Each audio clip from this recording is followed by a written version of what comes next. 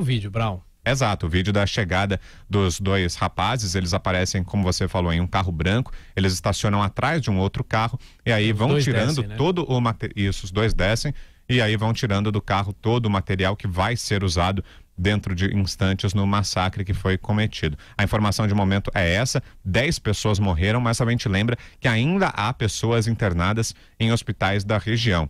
Isso uh, vai sendo atualizado logo, lógico, ao longo do dia, né? Ao longo do dia a gente vai ter outras informações. A princípio a gente teve um número de oito mortos, isso foi subindo, chegou a 10. A gente torce para que permaneça assim, né? Para que não haja mais nenhuma atualização, nenhuma subida no número de mortos, mas de qualquer maneira essa a informação de momento. Aí o, o, a imagem na tela para você, o momento em que os jovens chegam ao colégio. É a Escola Estadual Professor Raul Brasil, em Suzano, na Grande São Paulo. O rapaz aparece com uma roupa azul, parece ser uma jaqueta azul, e ainda, nesse momento, sem, usar, sem usar nenhuma máscara, né? ainda com o rosto descoberto. Isso porque no momento do ataque os dois estavam encapuzados, mas na hora da chegada, eles chegam com uma mochila nas costas e sem nenhum indício de que eh, viriam a praticar um crime na sequência. Um deles entra primeiro, o outro continua no veículo, como você vê aí nas imagens, e depois ele também entra no colégio e passa o portão e depois,